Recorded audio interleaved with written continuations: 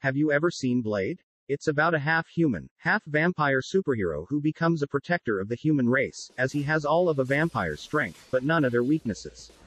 But here's a fact you probably didn't know.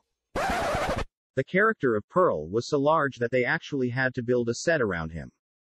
It was about 700 pounds of latex skin that had to be moved with a forklift.